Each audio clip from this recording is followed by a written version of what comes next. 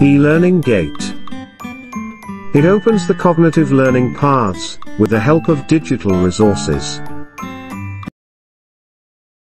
Welcome, curious minds, to an exploration into the attractive world of classification systems in biology.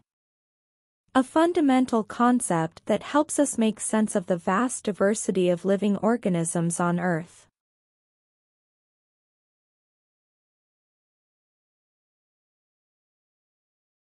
Before we get on this journey, let's set our objectives. These objectives are challenges for you to learn.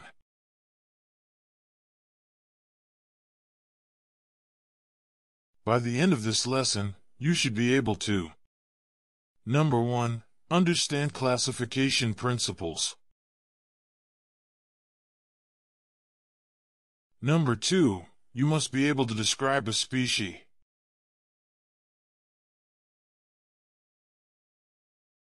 Number 3. Binomial system of naming. Number 4. What are dichotomous keys? Number 5. Evolutionary relationships. 6. DNA which stands for deoxyribose nucleic acid as a classification tool. 7. Genetic relatedness and base sequences. So number 6 and 7 will be covered under same concept.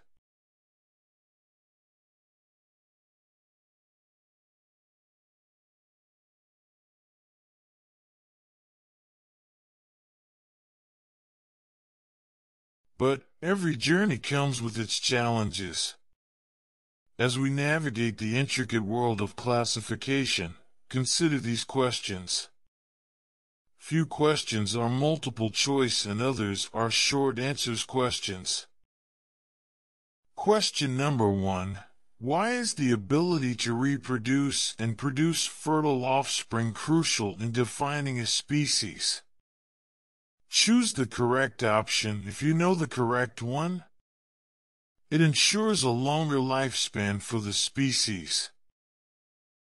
Option B is it allows for greater genetic diversity. Option C is, it simplifies classification efforts. Option D is, it guarantees a larger population size. Think and note down your answer.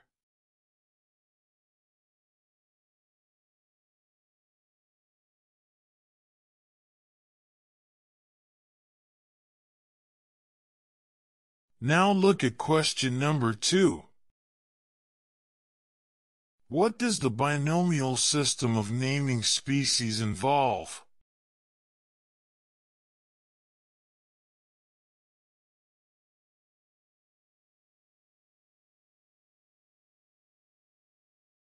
Only one option is correct.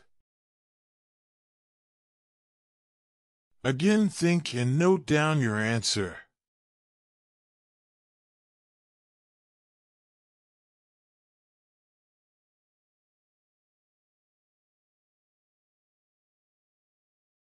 Similarly, look at question number three.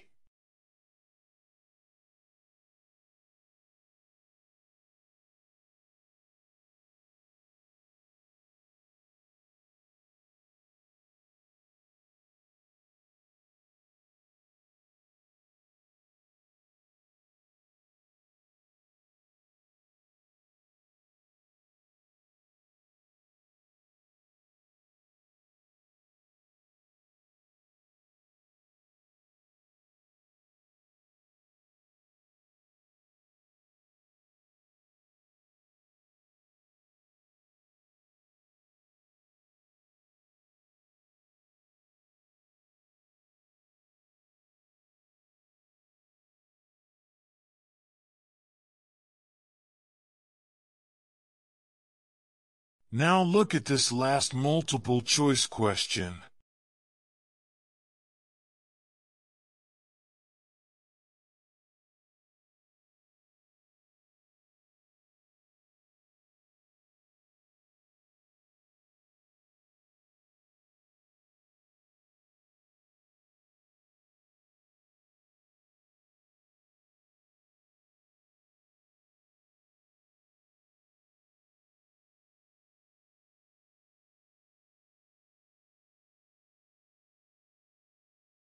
Note down your answer.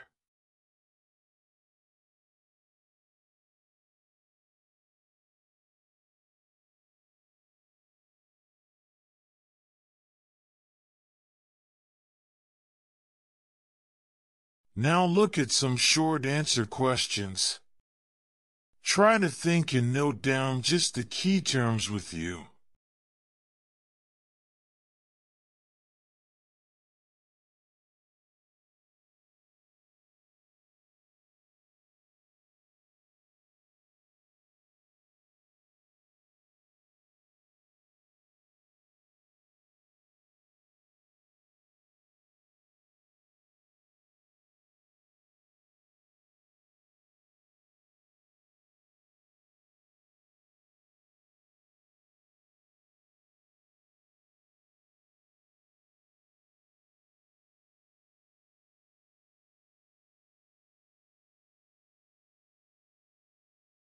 If your answers are correct, then well done.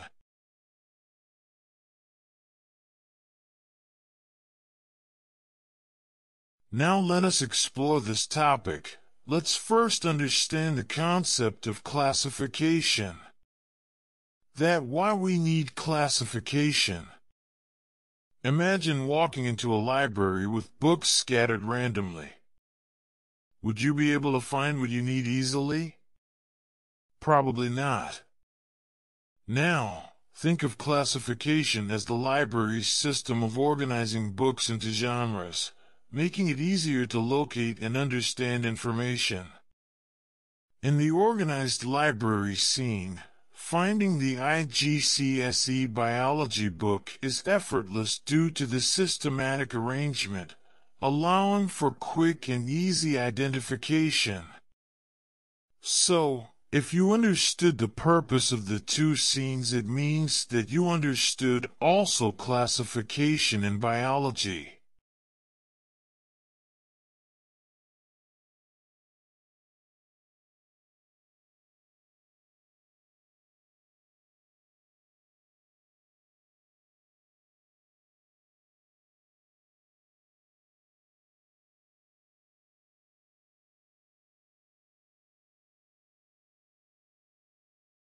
So, now let us see that what are the principles of classification? 1. Shared characteristics. Organisms are grouped based on common traits, such as morphology, behavior, or genetic features. The more similarities organisms share, the more likely they are to be classified together. Example, nectar feeders birds. The bird with a long, pointed beak. This adaptation is perfect for reaching into flowers to extract nectar. Birds like hummingbirds and sunbirds share this characteristic and are classified as nectar feeders. Zebra and pony is another example. The second principle of classification is evolutionary relationships. Classification aims to reflect the evolutionary history of organisms.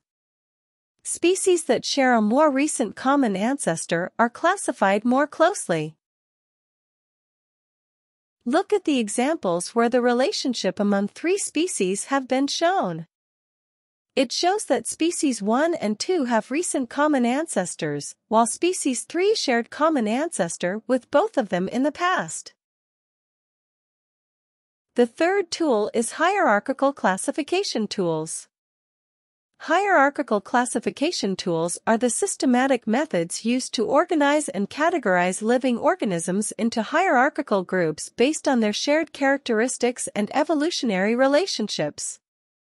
In the world of biology, understanding how organisms are related involves exploring both their evolutionary relationships and the tools we use to classify them hierarchically.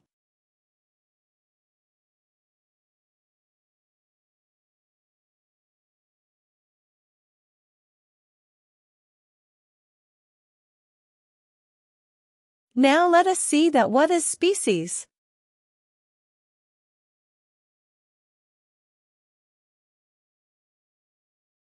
In biology, a species is a fundamental unit of classification and represents a group of organisms that are capable of interbreeding and producing fertile offspring in nature.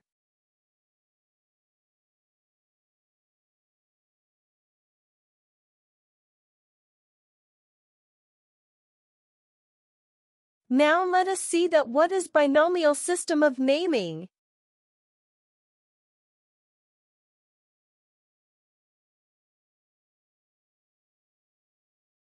The binomial system of naming, also known as binomial nomenclature, is characterized by the use of two parts.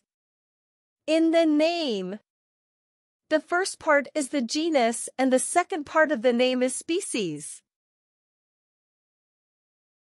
The genus is a broader taxonomic category that groups closely related species together.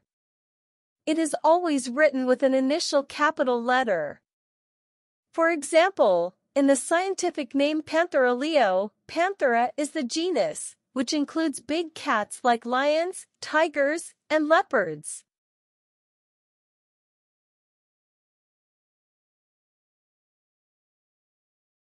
The species epithet is a specific name unique to each species within a genus. It is always written in lowercase letters. Example, in the scientific name Panthera leo, leo is the species epithet, specifically referring to the lion.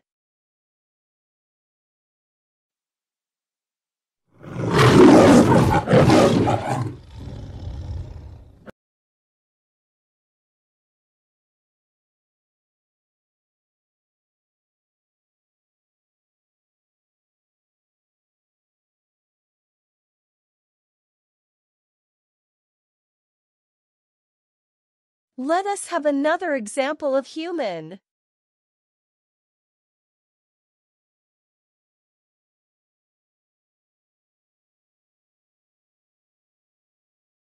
So, our genus is Homo and species is sapiens. So, our biological name is Homo sapiens. Now let us try to understand dichotomous keys. Dichotomous means branching into two, and refers to the fact that you have two descriptions to choose from at each step.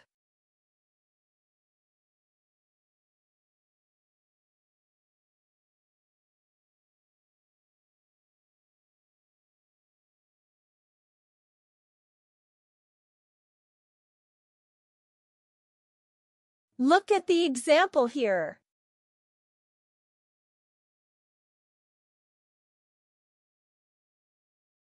A dichotomous key is a tool that uses a series of yes or no questions, statements, or descriptions ordered or grouped in pairs in order to identify a specimen within a defined group of specimens.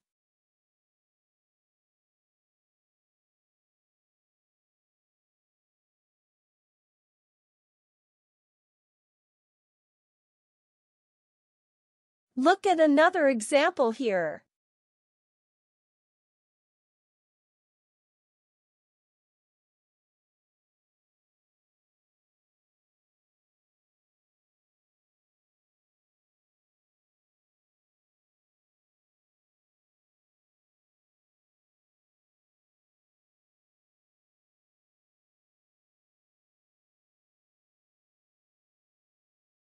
Evolutionary relationships. Evolutionary relationships in biology refer to the connections between different species or groups of organisms based on their shared evolutionary history. This relationship is represented by phylogenetic trees. A phylogenetic tree is a diagram that represents evolutionary relationships among organisms.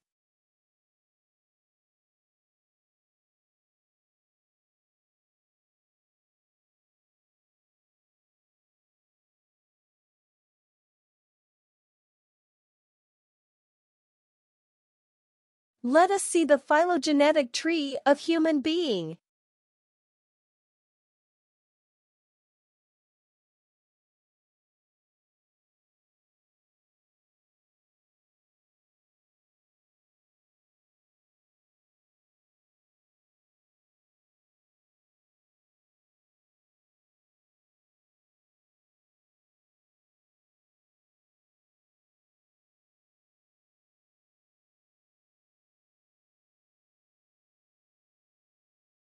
Let us see the role of DNA in classification.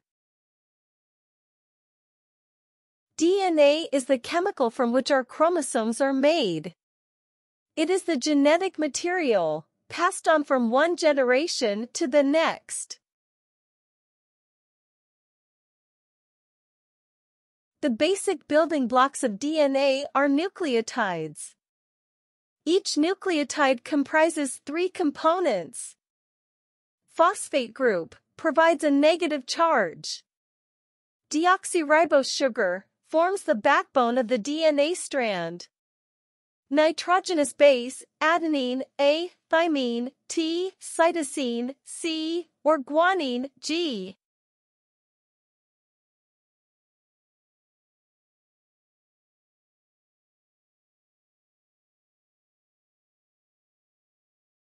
Look at the example here.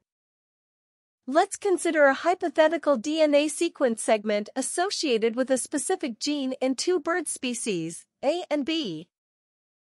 In this segment, both species share the sequence AGCT, indicating a common evolutionary ancestor. However, at the fifth position, species A has a thymine, T, while species B has a guanine, G. This difference suggests a divergence in their evolutionary paths. Look at another hypothetical example, the understand the process. We take in the example three species, human, chimpanzee, and fish with approximate timeline.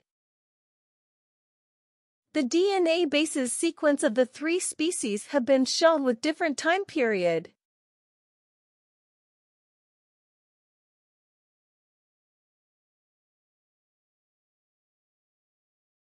In this example, three time periods are given to make it simple and understandable for you. These time periods are Start of the timeline which is ancient time Middle and recent time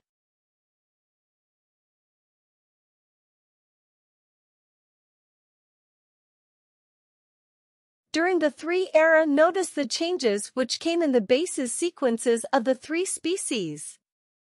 The DNA sequence of the fish has changed over time, reflecting the accumulation of genetic differences.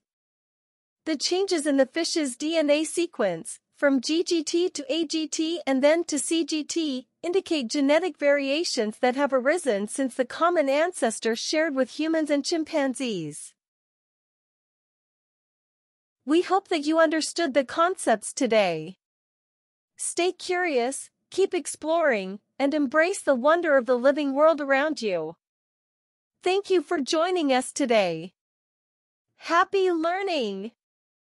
Don't forget to go back to the beginning of the video and try to solve the questions now. We hope that you will be able to do them now.